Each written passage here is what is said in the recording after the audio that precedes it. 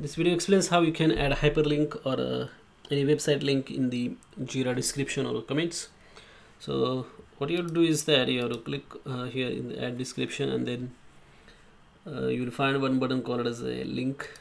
Just click here and uh, you can paste the link or search recently viewed uh, ticket as well. You can link the ticket or let us say you want to like you know give this link suppose then just copy paste the link over here and automatically it will be converted into a link. Or you can also change the text to be displayed over here. Say google. So link actual url will be hidden.